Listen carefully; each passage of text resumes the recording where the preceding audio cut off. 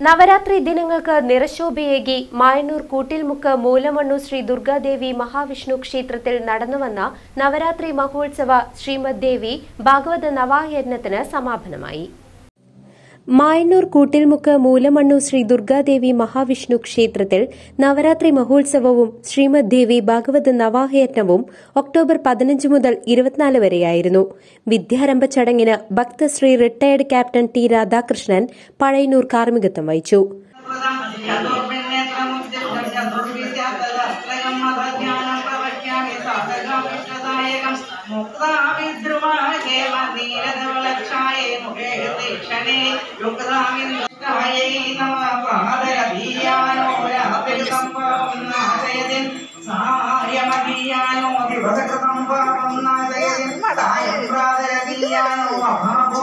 സർവദുഃഖേഷു October പതിനാറാം തീയതി മുതൽ ഇരുപത്തിമൂന്ന് വരെയായി ക്ഷേത്രാങ്കണത്തിൽ നിരവധി കലാകാരന്മാരുടെയും കലാകാരികളുടെയും നേതൃത്വത്തിൽ കലാപരിപാടികളും സംഘടിപ്പിച്ചിരുന്നു.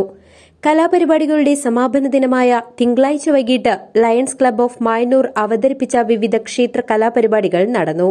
ക്ഷേത്രത്തിൽ നടന്നുവന്ന വിവിധ പരിപാടികളെക്കുറിച്ച് ഭക്തശ്രീ റിട്ടയർഡ് ക്യാപ്റ്റൻ ടി രാധാകൃഷ്ണൻ സംസാരിക്കുന്നു. ക്ഷേത്രക്ഷേമ സമിതി ഭാരവാഹികളും അംഗങ്ങളും പങ്കെടുത്തു.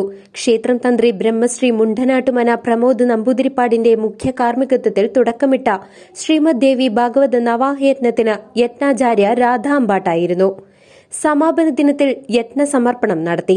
വിജയദശമി ദിനത്തിൽ ക്ഷേത്രം തന്ത്രിയുടെ മുഖ്യ കാർമ്മികത്വത്തിൽ പൂജയെടുപ്പ് വിദ്യാരംഭം വാഹനപൂജ സുദർശന ഹോമം എന്നിവയും നടന്നു.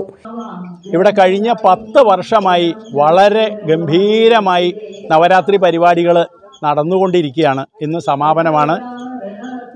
ആചാര്യ അമ്പാട്ട് ചൂട ഭാഗവത ചൂടാരത്നം അമ്പാട്ടാണ് ദേവി ഭാഗവതം ഇന്ന് സമാപനമാണ്.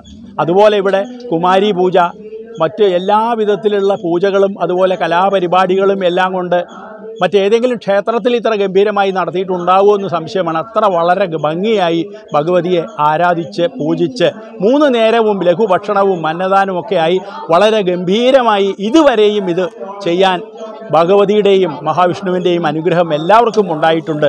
ഇന്ന് കുരുന്ന് പ്രതിഭകൾ കുട്ടികൾ പലരും ഇന്ന് ആദ്യാക്ഷരം കുറിച്ചു. അവർക്കൊക്കെ നല്ലത് വരട്ടെ.